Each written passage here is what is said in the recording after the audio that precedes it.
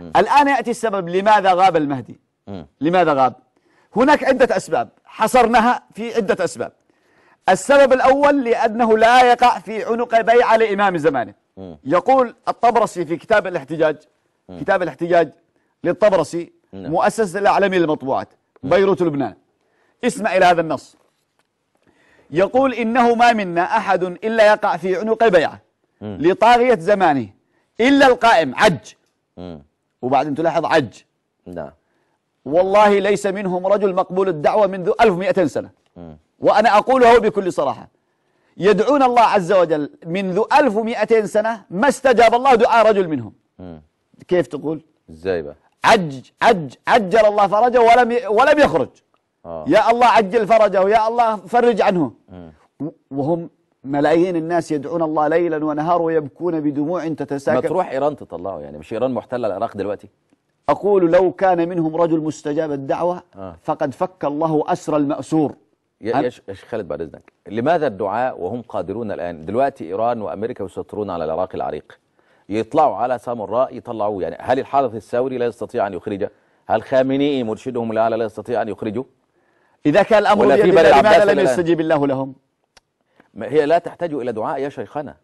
الآن طائرات إيران وحرث الثوري ومخابراتها موجودة في بغداد 35 مكتب في بغداد في الموساد وإسرائيل في بغداد وكل هؤلاء يعملون مع إيران في بغداد. لماذا لا يذهبون إلى آه، يعني سامراء ويدخل خامنئي؟ آية الله العظمى. يخبره فقط. ويطلع من نفسه. يقول يقول ما عاد؟ في أحد. ألم يكن هذا معلوما وموجودا وحيا يرزق ويتعاملون معه؟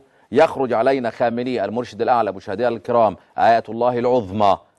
دام ظله الشريف ويأتي إلينا بالإمام المهدي صاحب الزمان عجل الله فرجه الشريف. لماذا لا يقوم بهذا خامنئي اليوم؟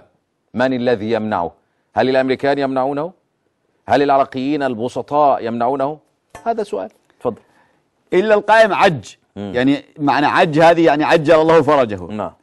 الذي يصلي خلفه روح الله عيسى بن مريم عليه السلام. مم.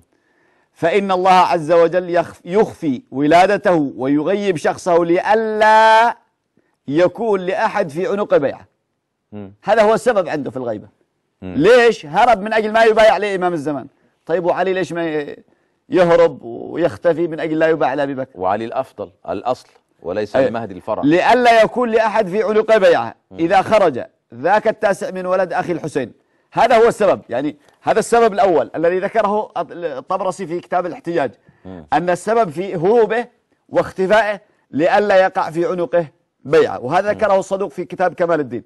مخافة القتل. إكمال الدين نعم. كمال الدين أو إكماله. يعني يعتقدون أنه لم يكمل الدين إلا بالمهدي المنتظر. أيضا يقولون أنه خائف من القتل هرب لكونه يخاف من القتل. ولهذا ذكر أيضا صاحب كتاب آه، كشف الغمة صفحة 345 يقول الوجه في غيبته. هو خوفه على نفسه ومن خاف على نفسه احتاج إلى الاستتار. ثم يقول فإنه يجب عليه أن يحمل كل ذي كل أذى في نفسه. يعني هنا يطرح سؤال. يقول لماذا غاب المهدي والأنبياء؟ لم يخافوا آه، لم لم يغيبوا ولم يخافوا على أنفسهم؟ هنا يقول كما نقول في النبي فإنه يجب عليه أن يتحمل كل أذى في نفسه حتى يصح منه الأداء إلى الخلق. ما هو لطف لهم؟ وإنما يجب عليه الظهور وإن أدى إلى قتله كما يظهر كثير من الأنبياء. وإن قتل لأنه لأن هناك كان في المعلوم أن غير ذلك النبي يقوم مقامه في تحمل أعباء النبوة وليس كذلك حال إمام الزمان. يعني الأنبياء يجب عليهم الصمود وعدم الاختباء وعدم الاختفاء.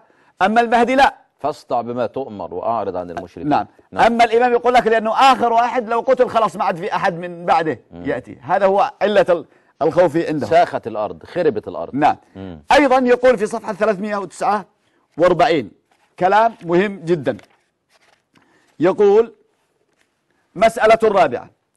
فإن قالوا ده في كشف الغمة ما نعم في كتاب غش كشف الغمة. اتفضل. فإن قالوا يعني نحن والعقلاء.